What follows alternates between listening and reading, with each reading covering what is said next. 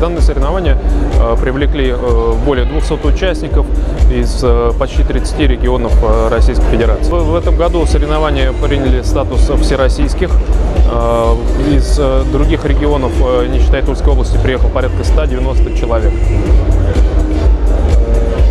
Сколько будет это все проходить и как организация сама, вот ребят из других регионов, где-то разместили, питание, проживание, все это же важно. Да? Да, ребята из других регионов обеспечены жильем, питанием. Соревнования будут проходить в течение э, двух дней, э, и э, сильнейшие будут определены сегодня и завтра.